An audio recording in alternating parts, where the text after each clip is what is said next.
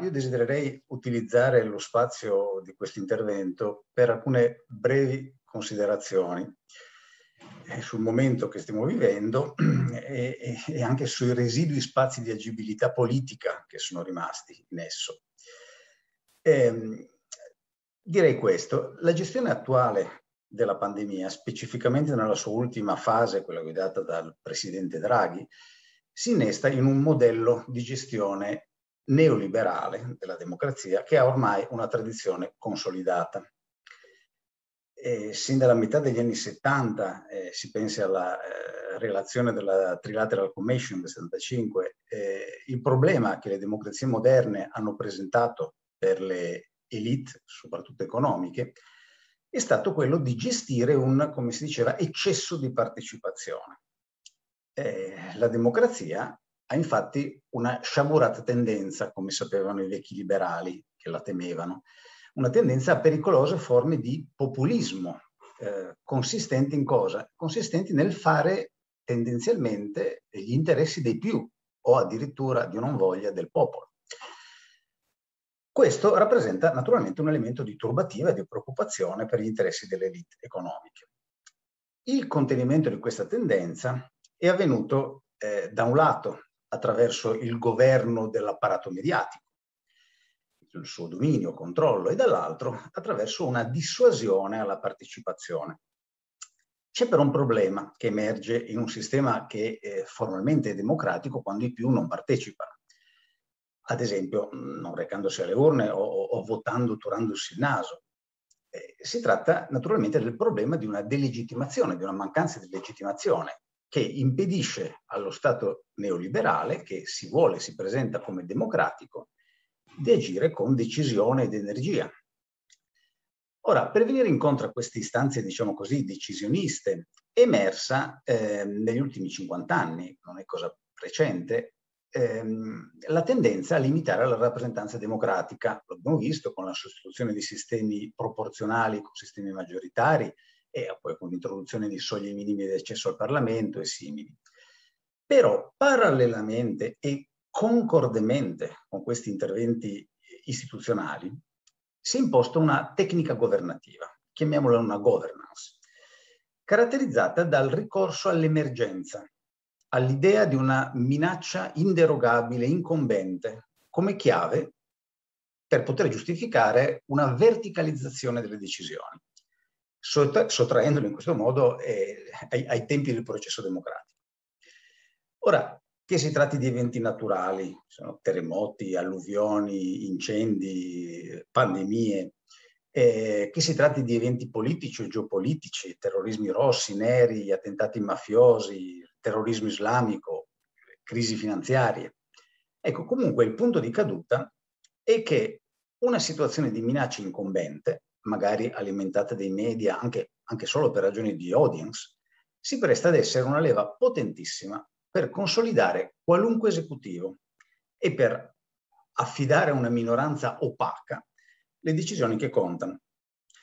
Questo procedimento può facilmente forzare sia le regole costituzionali che, e può piegare le norme vigenti. Questo perché? Perché l'urgenza, l'emergenza fa abbassare il tasso critico e liquida tutte le richieste di chiarimento, di completezza di informazione come zavorre, come formalismi, eh, come ostacoli all'inderogabile e urgentissimo perseguimento del bene comune. E ora, eh, questo impedisce allo Stato neoliberale eh, diciamo, questo modello si è ripresentato oggi puntualmente eh, in occasione della pandemia di Covid-19 ancora in corso.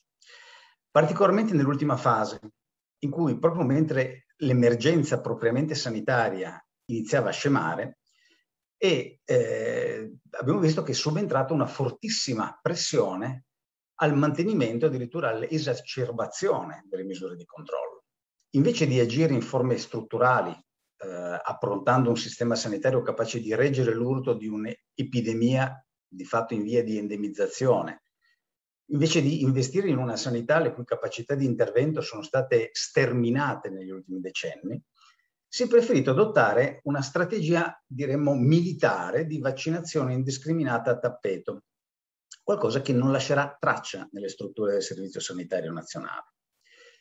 Nei processi dettati dalle strategie emergenzialiste si verifica un meccanismo di trasferimento automatico del potere dalla sovranità popolare o dal tentativo di sovranità popolare ad una elite di competenti, tecnici, professionisti alla cui expertise ci si appella come risorsa necessaria e indispensabile a far fronte alla minaccia.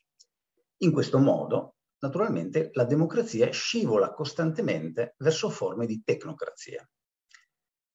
Che i tecnici cui ci si appella siano militari dei servizi segreti, economisti di regime o anche selezionati esperti sanitari, questo è indifferente, perché non sono davvero questi a gestire la crisi. Questi sono scelti in modo normalmente opaco con la finalità di sostituire alla sovranità popolare il loro principio d'autorità.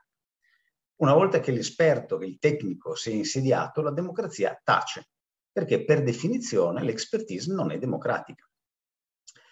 Ora, a questo punto qui è importante chiarire una cosa. Eh, questo tipo di strategia emergenzialista funziona per ragioni profonde, non facilmente scalzabili. Infatti si appella ad un ruolo che è quello proprio dello Stato sin dalla sua nascita, cioè quello di difensore estremo di fronte a una minaccia, a un'aggressione. Questo è il punto di forza dell'esistenza di tutti gli Stati e non è facilmente rimpiazzabile. Date queste premesse, non c'è assolutamente nessun bisogno che un'emergenza sia costruita o inventata in un mondo complesso di minacce reali ce ne sono e ce ne saranno sempre in abbondanza. Dunque gli spazi per l'attivazione di questa logica di autoritarismo emergenziale sono sempre disponibili. Questo fatto crea però una fondamentale difficoltà a chi voglia o che tenda ad opporsi a queste tendenze in una maniera un po' troppo semplicistica, cioè mettendo in dubbio, con una sorta di automatismo, la legittimità dello Stato ad operare in questo modo. In sostanza chi magari comprensibilmente reagisce a queste dinamiche emergenzialiste con una sorta di rigetto automatico, eh, agitando a priori il sospetto che eh, l'eccezionalità dell'azione statale sia in quanto tale illegittima, o magari addirittura presentando la minaccia come fittizia, si condanna ad un inefficace minoritarismo.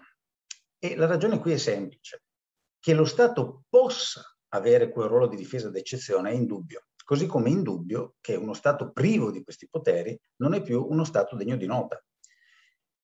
E d'altra parte l'alternativa alla mancanza di uno Stato non è una pacifica società anarchica, ma è normalmente l'esercizio senza filtri della legge del più forte, che sia il più forte militare o economico. Dunque, il terreno su cui si muove chiunque abbia cara l'idea di una eh, democrazia come reale autogoverno del popolo. È un terreno stretto, una strisciolina di terra racchiusa tra, da un lato, i fautori liberisti dello Stato minimo o nullo e dall'altro l'autoritarismo neoliberale, dove lo Stato può anche essere interventista, purché lo sia in quanto si fa portatore delle istanze dei poteri economici dominanti. Ora, questo stretto terreno è esattamente quello in cui si è mosso inizialmente il mo momento populista europeo di un paio d'anni fa, che però è scivolato abbastanza rapidamente, in parte dall'una e in parte dall'altra parte di questo crinale.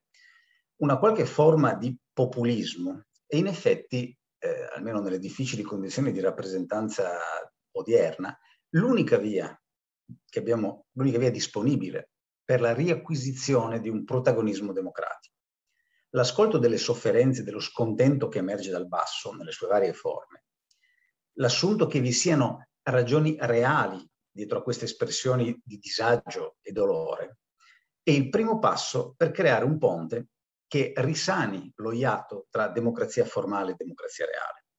In questo atteggiamento c'è una dimensione positiva di populismo, che però corre il rischio di diventare una semplice rete a strascico scordinata di istanze caotiche cui, a cui non riesce a dare una forma politica. Senza una elaborazione di quelle istanze, il lato positivo del populismo si converte facilmente nel lato negativo di una pretenziosa confusione, che alla fine lascia il campo a chi ha magari meno consenso, ma una volontà più precisa, una, ad esempio semplicemente un ferreo senso del proprio interesse.